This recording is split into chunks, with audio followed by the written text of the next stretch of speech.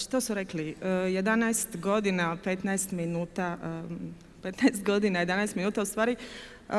Kad ste inspirirani s Teslom, to zapravo znači da za vas vrijeme ne postoji, jer Tesla je više od čovjeka. Tesla je zapravo jedan sustav kozmičkog znanja u koji kad uronite linarno vrijeme stvarno nestane.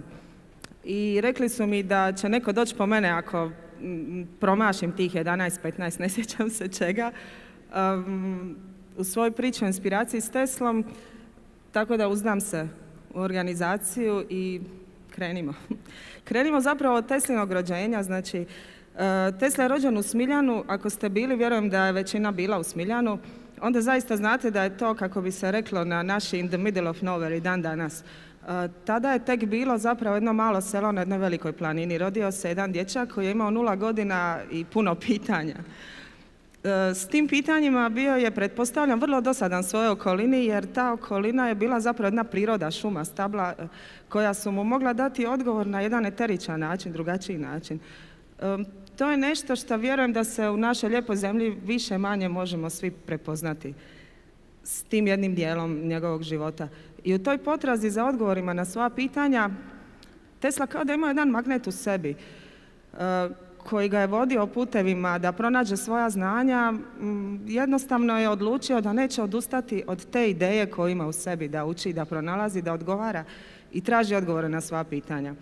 Tako iz tog sela završio na svoju volju u Realku, jednu vrlo naprednu školu tadašnjeg vremena u Karlovcu, gdje je ugledao jednu litografiju slapovani agare i rekao je svom ujaku, gle, imao je tada 14 godina, vratit ćemo se malo na vrijeme.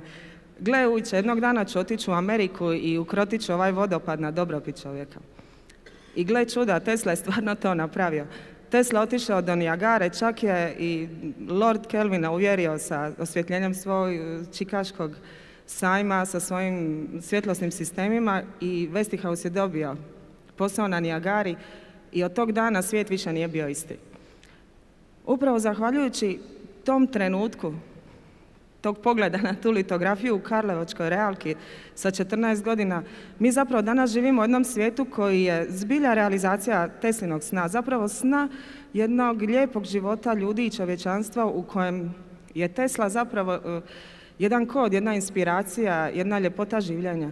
I biti inspiriran Teslom zaista znači zapravo pretvoriti svoj život u život Eh, jedne male Alise koja živi u jednom predivnom svijetu čuda i promatrati ga s više aspekata, ne samo sa inženjerskog aspekta koji je za Teslu nekako najvezaniji. I kad sam krenula se baviti Teslom, mnogima je bilo čudno što jedan umjetnik može razumjeti u Teslinom radu. Ali čitajući njegovu autobiografiju, meni je uvijek bilo jasno zapravo da je Tesla jedini koji je razumio nas umjetnike. Jer je zapravo Tesla jedan veliki umjetnik. E, možda će vam to danas zvučati čudno, jer zaista živimo jedan svijet koji, ako mi tako odlučimo, može postati svijet Teslinog sna. A isto tako, ako mi zaboravimo šta znači biti čovjek, šta znači umjetnost, može postati jedna Teslina noćna mora.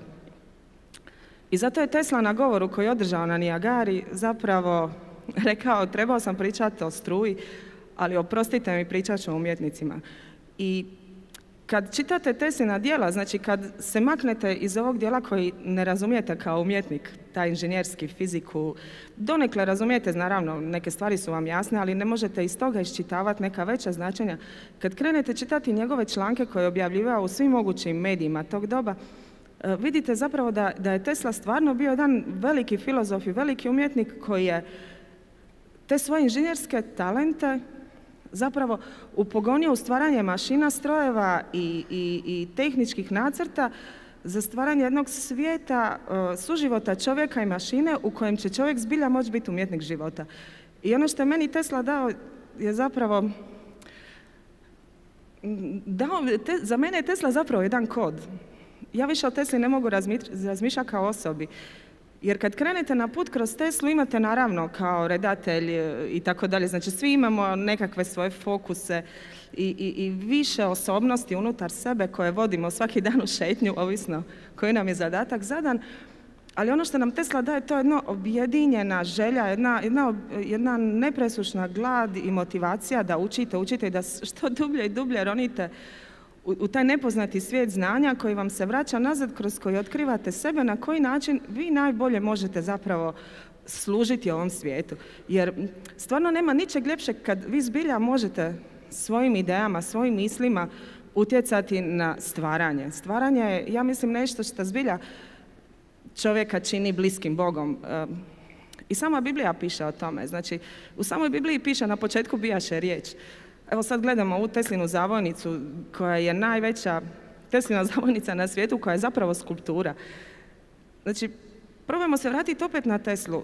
Zašto Tesla nije bio samo inženjer i zašto je lijepo biti inspiriran s njim i zašto je on zbilja jedan sveukupni sukus ideja, znanja, paralelnih realnosti, bogatstva, svega što god želite.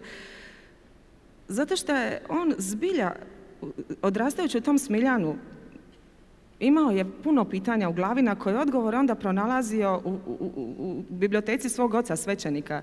Znači možete zamisliti kakva se literatura tamo, tamo nalazila. Znači Tesla bi imao jednu ideju, gledao bi nebo, zvijezde, šetao bi šumom i onda bi uzeo Mark Twaina i onda bi čitao opet neku fikciju koju bi nadogradio s tom svojom idejom i tako je zapravo došao u Karlovac, vidio je tu litografiju i onda je zamislio jedan lijepi svijet, svijet stvaranja, svijet budućnosti, svijet ljubavi, svijet mira, svijet želje u kojem ljudi zbilja žive u sinergiji, stvaralačkoj sinergiji i, i kao dječak od 15 godina s tom idejom u glavi, s tom misli u glavi.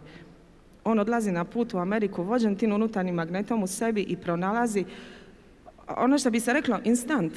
Ljude, prostore, novac, vrijeme, sustave koji mu omogućuju da to ostvari.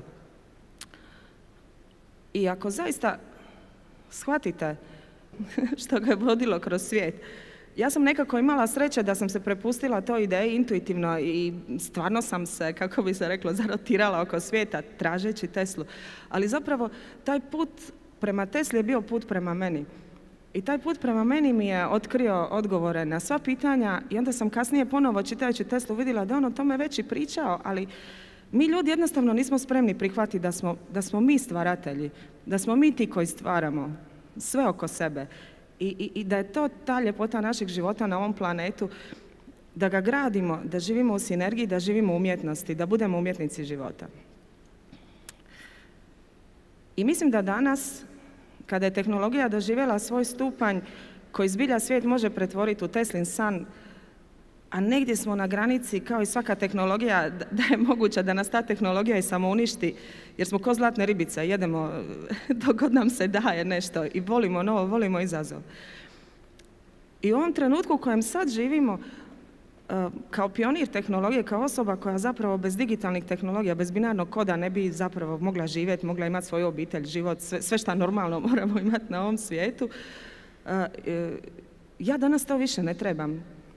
Danas, otkrivši taj kod u sebi, taj Tesla kod, ja sam zapravo sretna da, da nekako ja osobno mogu to balansirati jer, jer vidim da se dešava jedan prostor koji je dosta nepredvidiv.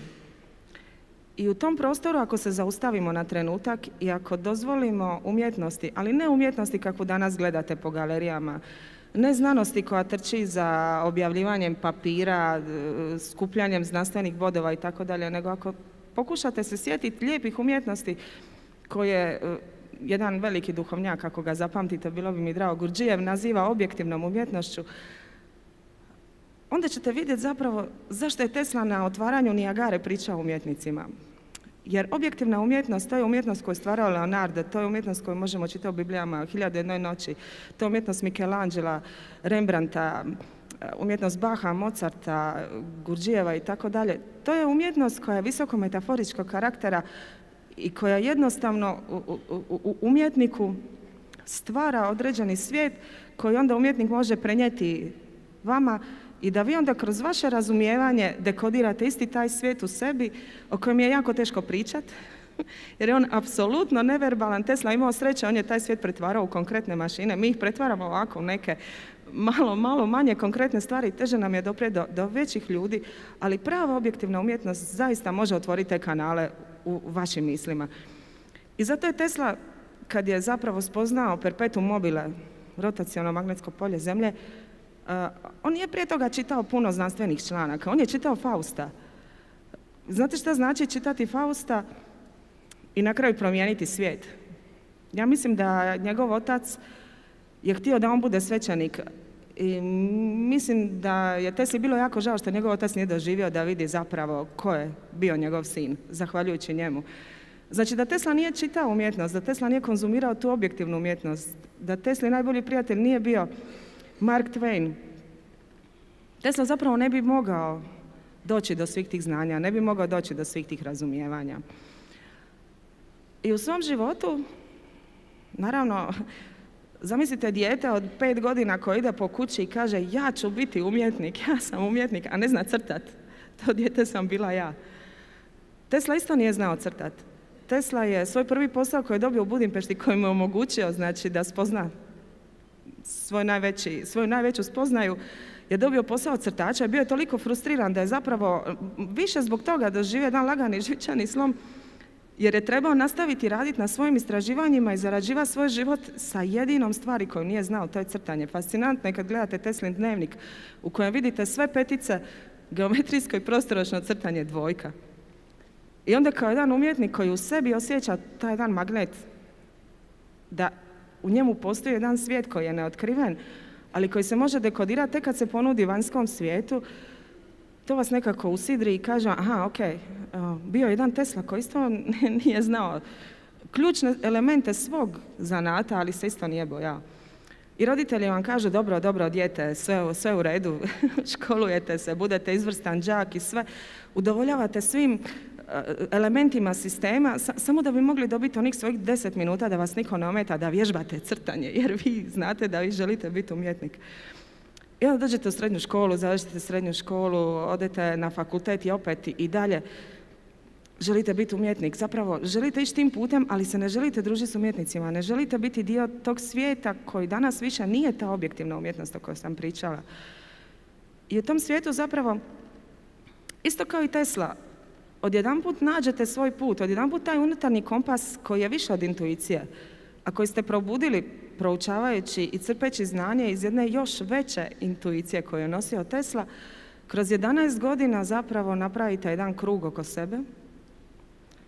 Neću se sad zavrtiti na ovom tapetu jer ne znam šta bi se s njim moglo dogoditi, ali u tom trenutku napravite jedan krug oko sebe i, i u trenutku kad se vi zaustavite, vi postanete zapravo jedna točka prema kojoj počinju dolaziti svi i tražiti tu inspiraciju koju ste otvorili.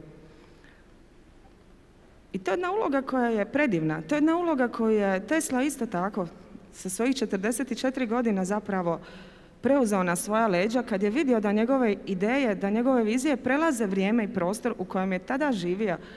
Tesla svejedno nije odustao od sebe. On je jednostavno bio kao veliki učitelj, dostupan svima kroz svoja pisanja, kroz svoja objašnjavanja, svega samo ne fizike, samo ne inženjerstva. Zato što, ponovo ću reći zapravo, zato što je Tesla zapravo sve što je napravio, napravio upravo, upravo zato da bi mi mogli danas biti slobodni, da bi mogli učiti, da bi mogli biti oslobođeni svega što nam je teško u životu, fizički rad, uzaludan, uzaludan rad, nešto, pronalaženje određenih informacija. Tesla nam je to sve htio servirati na pladnju kako bi mi zapravo mogli onda fajrati, znači paliti elektrone u našoj glavi, Zamislite kako izgleda naš mozak. Znači, mi smo jedan elektromagnetski sustav. U našoj glavi i kad spavamo je jedan highway, jedan autoput, jedna, jedno, jedno iskrenje ideja, iskrenje riječi, iskrenje misli, povezivanja, ljutnje, ljubavi. Mi, mi smo jedna ta velika iskra. Zapravo, svi mi smo Tesla. I ako zaista otkrijemo tog Teslu u sebi, možemo otići na jedno lijepo putovanje. Možemo otići na jedno putovanje koje će nam i ovim vremenima u kojima danas živimo, koja, koja su blago rečeno ubrzana, čudna, predinamična, čak i za mene, možemo se ujutro probuditi i zapravo samo promatrati to sve, a istovremeno biti dio toga. I to je jedna kvaliteta koja je neizmjerno potrebna u svim tranzicijskim vremenima. Mi danas živimo zaista u jednom velikom tranzicijskom vremenu gdje možemo ovu planetu pretvoriti u jedan rajski vrt.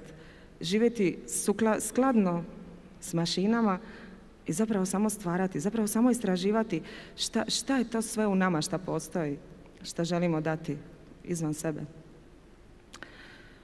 I tako sljedeći taj Teslin put, moram priznati da, da sam zbilja zahvalna na svakoj minuti koju sam provela na tom putu na kojoj nije bilo lakih uh, koraka. Mm, svi imamo svoje javne, privatne, lijeve, desne, ove, one živote, ali kad u jednom trenutku sve to postane jedan, zaista jedan ringišpil, kroz koji u jednom trenutku kad se prepustite tom proučavanju Teslinih ideja, vi ne možete zaustaviti baš stvari kad biste možda vi htjeli, zato što je ta želja da, da zbilja istražite dalje i dublje i dublje i dublje, toliko snažna da naravno dogodi vam se da kao i Alisa u zemlji čudesa da naiđete i na situacije i likove koji su grozni. Recimo ovako, igrom, pri, riječnikom priče možemo reći da puno zmajeva morate na tom putu srediti da biste mogli jednog dana stati i, i, i promatrati ovaj svijet u jednom izvanvremenskom sustavu. I kad možete promatrati svijet u jednom izvanvremenskom sustavu, onda uh, odjedan put, kao recimo u Matrixu, kad uzmete crvenu pilulu pa onda idete negdje. Ali u jednom trenutku se zaustavite na jednoj stepenici koju svi zovu ljubav.